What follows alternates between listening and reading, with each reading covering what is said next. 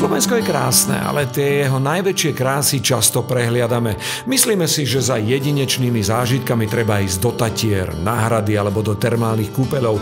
No nič proti ním, ale krásne a jedinečné veci sú všade okolo nás.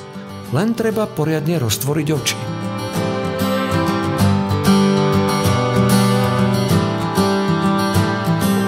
Práve preto som dnes vstal o 3 ráno. Chcem zažiť niečo, čo môže zažiť ktokoľvek, lebo je to zadarmo. Ale aj tak to málo kto robí. Chcem zažiť najkrajšie svitanie, aké vie byť na Slovensku.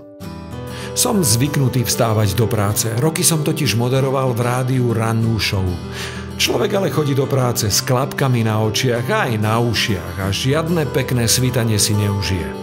Idem sa teda dnes stretnúť s človekom, ktorý mi ukáže svitanie, ako som ho nikdy doteraz nevnímal. Zdravím. Čau. Ako? Dobre, dobre, dobre ránko hlavne, že Ja dobré takto, ráno. To, takto, takto skoro. A ty si tu oveľa skôr, ako som ja sem prišiel. Chvíľočku, hej, keď človek chce počúvať a pozerať vtáčiky, tak fakt by si mal trošku privstať, lebo tie vtáky začínajú spievať okamžite pri svítaní. Presne tak. Dnes si ukážeme, ako poriadne nastaviť uši a zažiť najkrajší spev vtákov. Ak chcete zažiť najkrajšie svitanie, musia byť pritom vaši spevaví vtáci a práve na vtáky a ich spev je Janko Dobšovič veľký odborník. Našiel som ho cez YouTube. Tam zverejňuje svoje výukové videá, v ktorých učí rozoznávať vtáčie spevy.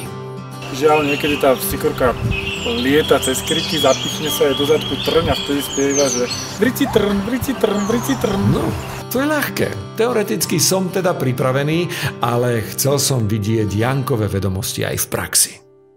Prvý, čo sa začína ozývať, je taký žltochvost. Ten hlas je taký veľmi zaujímavý, lebo má také švitorivé e, tóny a do toho ako keby si vysypal piesok na sklo a spravil, že Teda počul som vinárov rozprávať, čo všetko vo víne objavíme, ale prvýkrát počujem, No, ako sa dá to je- vnímať vtáči spev. to je len začiatok. Toho je ďaleko, ďaleko viac. To som sa chcel pýtať, že kto spieva teraz?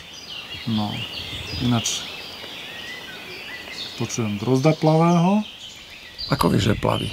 no lebo spieva ako drozd plaví. to je taký opakovací papagájik. On to, čo zaspieva, potrebuje viackrát zopakovať. A e, veľmi rád napodobne e, vtáče spevy. Lebo ich máme, počujem. máme tu penicu čiernohlavu. Tá spieva podobne možno ako drozd čierny, aj toho v pozadí Mne sa páči, že ty už aj ukazuješ prstom. To znamená, že ty už podľa spevu vieš, že kde sa asi nachádzal. Mne sa to všetko tak nejak No, zlieva. presne tak. No ale samozrejme, netreba byť chodiaca encyklopédia ako Janko, aby ste si vedeli vychutnať najkrajšie ráno. Počkaj, tak chvíľu iba seďme.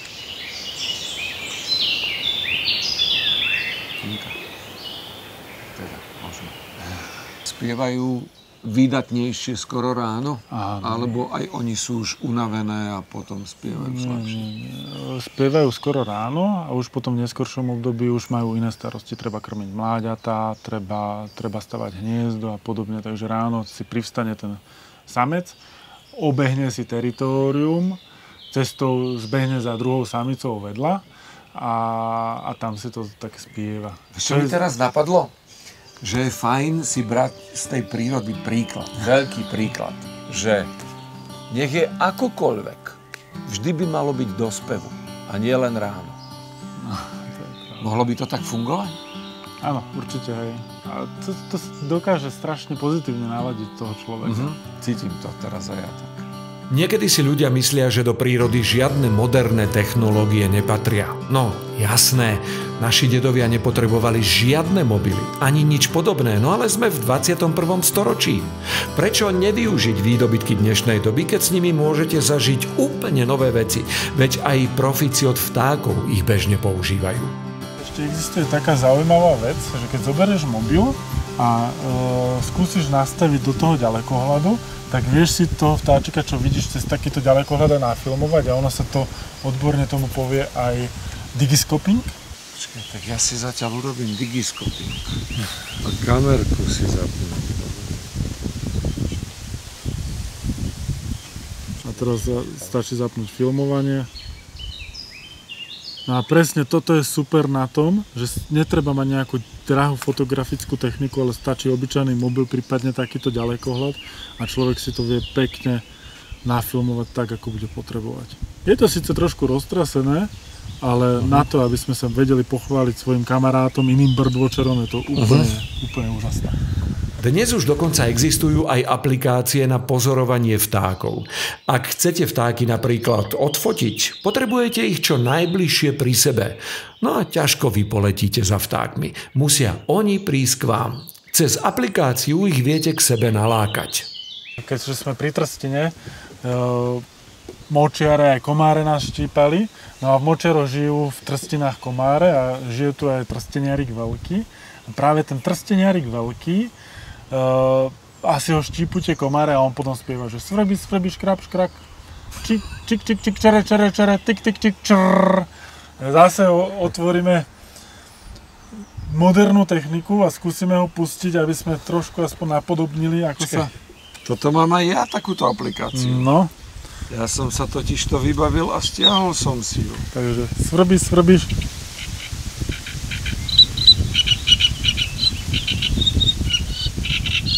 Nielen ja s Jankom máme takú aplikáciu, ale môžete si ju aj vy stiahnuť zadarmo do svojho mobilu. Návod, ako na to nájdete v odkaze pod videom. Nič zložité. Tu mám, vidíš, ako som sa pripravil. Pozri sa, šup, aplikácia zapnuté. No. A teraz, pozri. Atlas vtákov. Atlas vtákov. Skúsime nájsť vodu. Tu máme vodu. A chceme vodných vtákov, hej. hej lebo sme beluša malá, beluša veľká, alebo volávka biela, čo chceš počuť. A skúsime nájsť, že trsteniarika. To je taký menší prípust. Myslíš, že priletí? No, neozvali sa, tak asi nie. Ale trošku skôr by sa mohlo stať. No, nepriletel. Mohli sme to skúšať ešte dlho, pozorovať vtákov je trochu ako s rybami. Nahodíte, možno zaberie, možno nie. Ale nikdy to nie je premárnený čas. Keďže sa ale končila doba, v ktorej vtáky spievajú, šiel som sa ešte s Jankom prejsť, nech to počujeme ešte viac. Poď sa nám ozýva nejaká síkorka. Toto je kolibkárik čipčavý. Vieš prečo kolibkárik? Čip, čip, čip. To je, to, to je to, tá čipčavina? Áno. Áno. Ohryzená, toto je ďateľ malý. Taký maličký ďatlík. Predstav si, že by si prišiel do toho lesa, tam by to bolo ticho.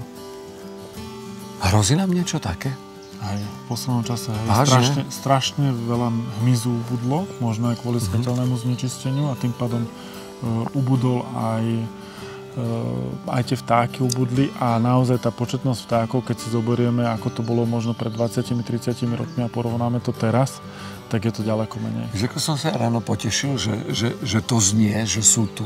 Hm? A že je dosť pomerne. Takže, takže skôr si vždycky treba položiť otázku opačne, že a nebolo by smutno bez nich? Janko má pravdu.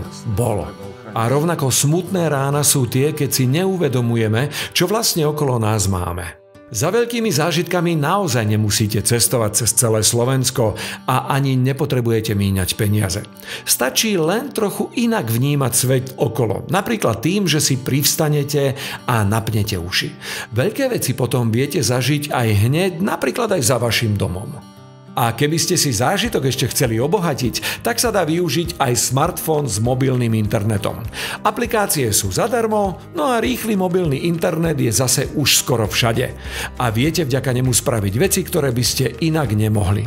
Ja som dnes mal krásne svitanie a smartfón mi pritom bol pomocníkom.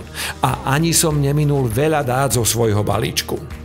Ale ako vravím, Mobil nie je nutný. Je to len príjemný doplnok. Nutné je otvoriť oči, uši a tešiť sa z toho, čo nám Slovensko ponúka. Kým to ešte je.